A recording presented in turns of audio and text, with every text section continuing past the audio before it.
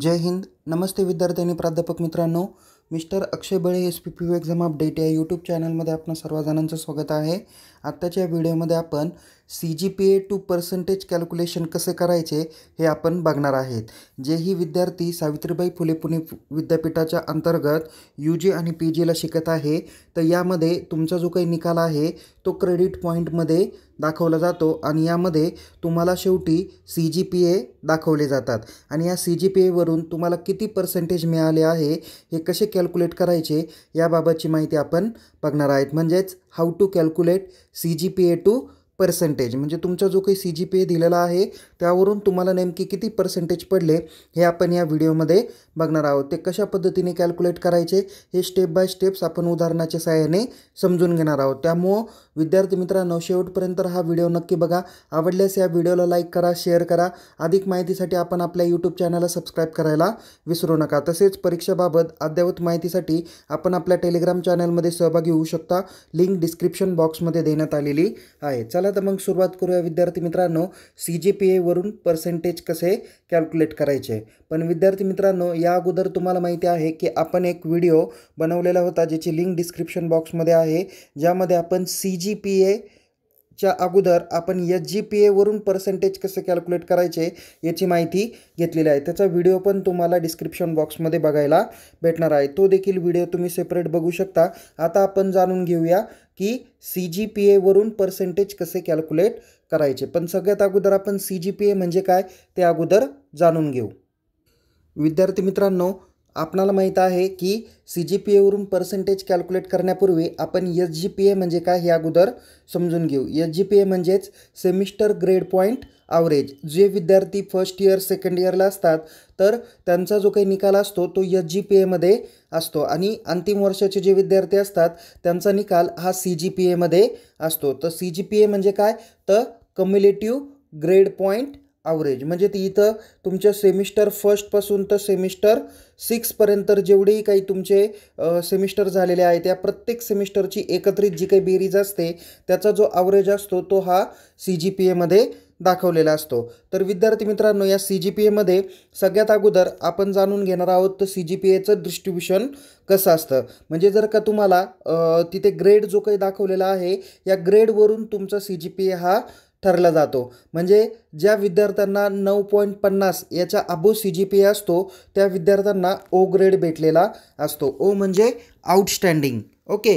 त्यानंतर ज्या विद्यार्थ्यांचा सी जी पी ए हा आठ पॉईंट पंचवीस ते नऊ पॉईंट पन्नास असतो त्यांना ए प्लस म्हणजेच एक्सलंट ग्रेड भेटलेला असतो.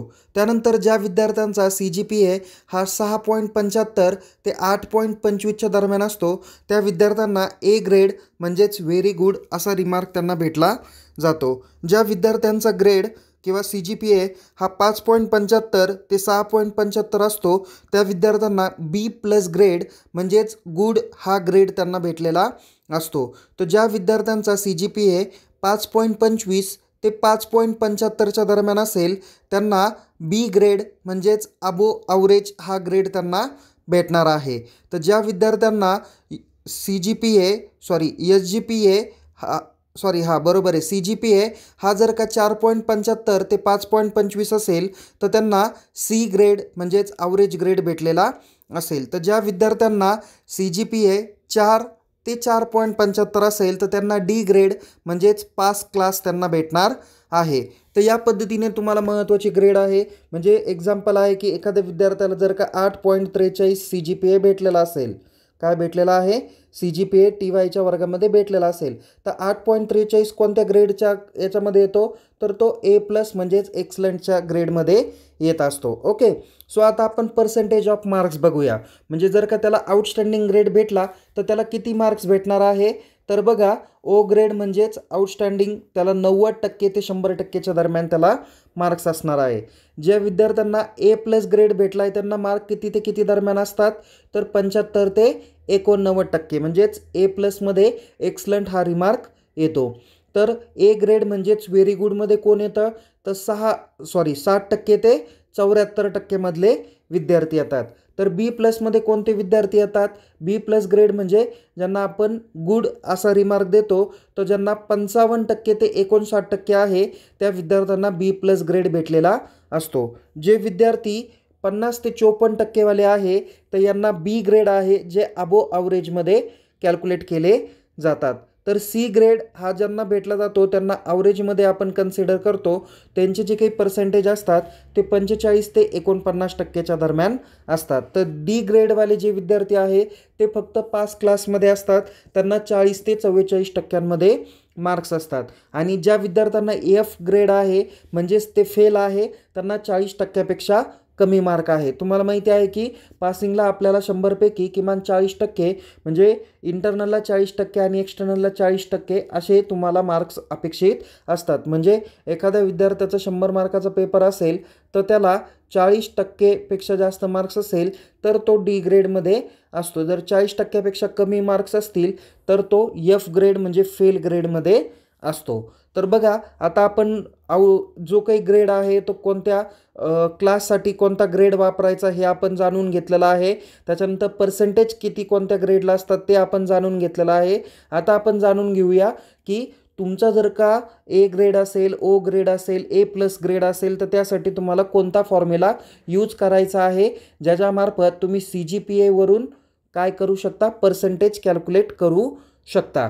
बघा जर तुमचा ओ ग्रेड म्हणजे आउटस्टँडिंग ग्रेड असेल तर तुम्ही हा फॉर्म्युला यूज करायचा आहे तो म्हणजे twenty into C G P A minus hundred okay जर तुमचा ग्रेड हा ए प्लस असेल तर त्यासाठी तुम्ही twelve into C G P A minus twenty five हा फॉर्म्युला यूज करायचा. जर फक्त तुम्हाला ए ग्रेड भेटला असेल तर तुम्ही ten into C G P A minus seven point five हा फॉर्म्युला यूज करायचा आहे. नेक्स्ट आहे if you can get B plus grade then you can using the formula of five multiple by C G P A plus twenty six point twenty five okay then if you can earn a B grade then you can using ten into C G P A minus two point five okay? Then if you can earning a c grade then you can using the formula 10 into cgpa minus 2.50 and if you can get or earn d grade then you can using the formula 6.6 multiple by cgpa plus 13.6 या पद्धतीचे फॉर्म्युले तुम्हाला use करायचे आहे. आता मी इथे एक example तुम्हाला दाखवतो की एक रिझल्ट तुम्हाला दाखवतो आणि रिझल्टवरून तुम्हाला कॅल्क्युलेशन कसं करायचं ते सांगतो. विद्यार्थी मित्रांनो माझ्याकडे इथे एक टी वायच्या अंतिम वर्षाचा एक विद्यार्थी त्याचा ग्रेड आहे. बघा इथे सॉरी त्याचा रिझल्ट आहे. इथे सगळ्यात शेवटी त्याला दाखवलेलं आहे सी जी पी ए आठ पॉईंट त्रेचाळीस. आणि इथं फायनल ग्रेड ए म्हणलेलं नाही आहे तर इथे बघा थोडंसं खालती जर आपण रिमार्क केला तर इथे प्लस चिन्ह आलेलं आहे. म्हणजे आठ पॉईंट त्रेचाळीसला कोणता ग्रेड आहे? ए प्लस ग्रेड आहे. आता ह्या आठ पॉईंट त्रेचाळीसचे आपण पर्सेंटेज कसे कॅल्क्युलेट करायचे? ते आपण बघणार आहोत. बघा विद्यार्थी मित्रांनो इथे दाखवलेलं आहे आपण if C G P A आठ पॉईंट त्रेचाळीस then it means he can earn A plus grade okay कारण आपल्या याच्यामध्ये दाखवलेलं आठ पॉईंट त्रेचाळीस म्हणजेच नेमकी ए प्लसमध्ये कोणकोणते येतात? बघा आठ पॉईंट पंचवीस ते नऊ पॉईंट पन्नासच्या दरम्यानपर्यंतचे येतात. म्हणजे या स्टुडंटला कोणता ग्रेड भेटलेला आहे? ए प्लस ग्रेड भेटलेला आहे. ओके आता ए प्लस ग्रेड असेल तर आपल्याला हा इथे दि दिलेला फॉर्म्युला काय करायचा आहे? यूज करायचा आहे. जसं A if A plus grade then is equal to twelve into C G P A minus twenty five okay बारा गुणिले C G P A minus पंचवीस. तर आपण आता हे सोल्युशन बघूया की या ठिकाणी तुम्हाला दाखवलेलं आहे बघा त्या स्टुडंटला बारा गुणिले C G P A minus twenty five हा फॉर्म्युला यूज करायचा. आता इथे आपण बारा घेतलेले आहे. ओके त्याला मल्टिपल बाय त्याचा आठ पॉईंट त्रेचाळीस हा सी जी पी आहे तो आपण घेतलेला आहे आणि त्याला पंचवीसने काय केलं? मायनस केलेला आहे. पहिल्यांदा सगळ्यात अगोदर बारा गुणिले आठ पॉईंट त्रेचाळीस आपण करणार आहेत. बघा मी इथे या ठिकाणी कॅल्सिया आहे.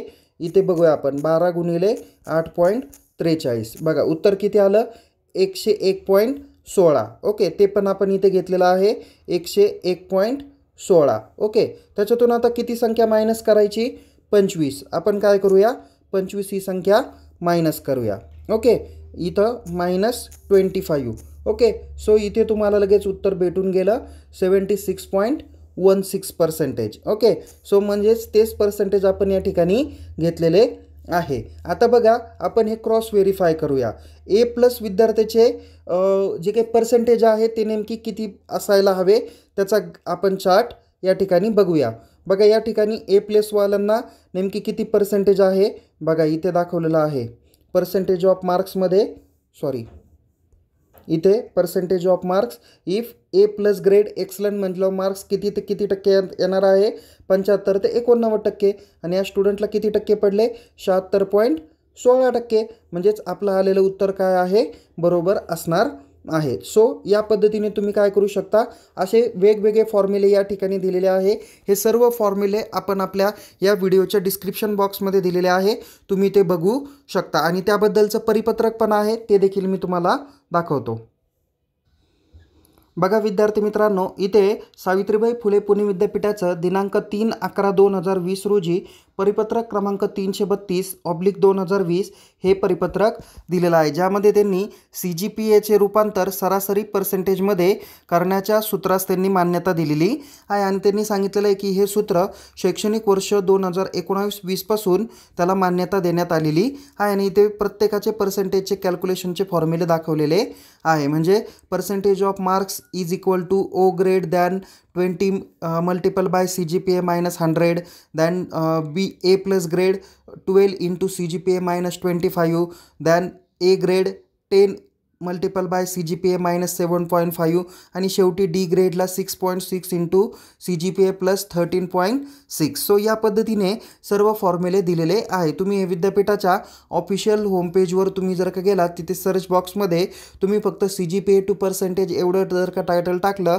आणि सर्च केलं तर तुम्हाला हे परिपत्रक क्रमांक तीनशे बत्तीस दोन हजार वीस तुम्हाला बघता येणार आहे. तर या पद्धतीने तुम्ही सी जी पी एचे पर्सेंटेजमध्ये कसे कॅल्क्युलेशन करायचे या पद्धतीचे फॉर्म्युले यूज करून तुम्ही उत्तर सॉल्व करू शकता. तर विद्यार्थी मित्रांनो तुम्हाला या फॉर्म्युलाबाबत काय अडचण असल्यास चार्ट बॉक्समध्ये मेन्शन करा.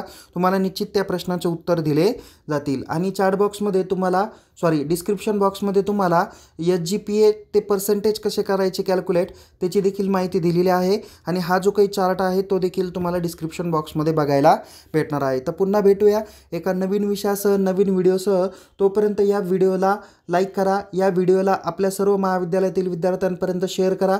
तसेच आपण अद्याप जर काही टेलिग्रामच्या चॅनलमध्ये जॉईन झाले नसेल तर त्वरित सहभागी व्हा आणि यूट्यूब चॅनलला नक्की सबस्क्राईब करा जेणेकरून तुम्हाला सावित्रीबाई फुले पुणे विद्यापीठाच्या विविध महत्त्वाच्या अपडेट तुम्हाला त्वरित भेटून जातील. सो पुन्हा भेटू एका नवीन विषयासह नवीन व्हिडिओसह तोपर्यंत टेक केअर जय हिंद. धन्यवाद.